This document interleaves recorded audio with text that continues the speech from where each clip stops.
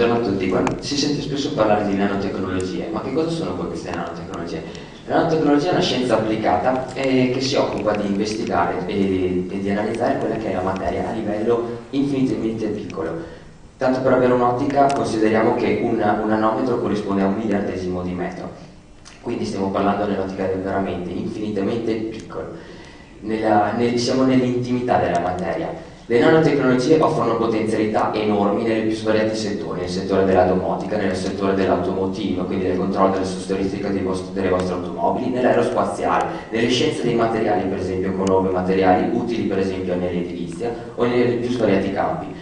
Un, altre applicazioni invece molto più interessanti potrebbero essere quelle nel campo medicale e nel campo farmacologico. Fino a questo momento però eh, stiamo parlando di strutture talmente piccole che è come ipotizzando di giocare con i Lego, atomi, molecole, come se fossero dei blocchetti della Lego.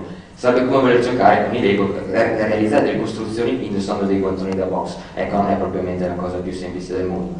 Tuttavia, fino a questo momento, con tecniche particolarmente avanzate, l'uomo è riuscito a realizzare strutture relativamente semplici, dei cantilever, cioè delle sorte di chiamiamolo così, trampolini, in grado di percepire molecole, quindi di essere molto selettivi nella percezione di determinate molecole. In altri campi, molti di voi avranno dei telefonini di ultima generazione, sono dotati di accelerometri in grado di far percepire all'oggetto e quindi a noi che lo utilizziamo lo spostamento sui tre assi dell'oggetto stesso.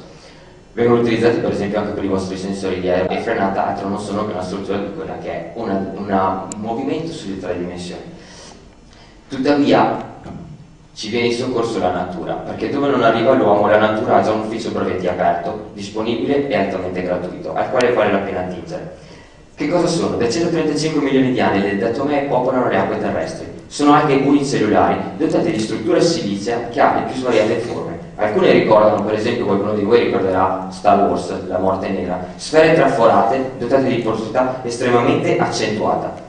Altri ricordano dischi volanti, no? non sono un appassionato di fantascienza, però è proprio questo che ci ricorda. Per gli amanti di arte invece che cosa abbiamo? Sembra il rosone del Duomo.